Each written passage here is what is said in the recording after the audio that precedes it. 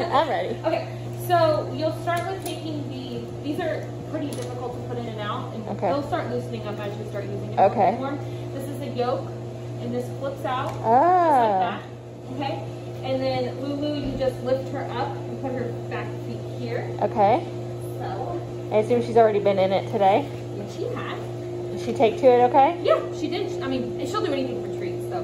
Well, that's So true. what I do is I line her up. Okay.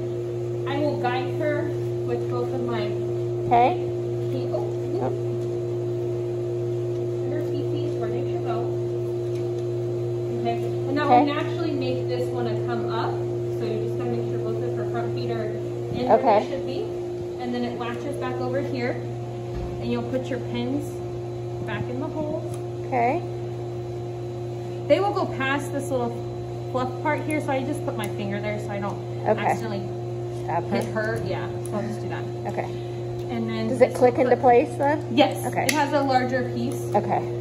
See, it's a little bit bigger right here. Okay. So it'll stay in place. Got So it. Okay. I just kind of put it in and then pull it back a little bit so it doesn't hit her. And then her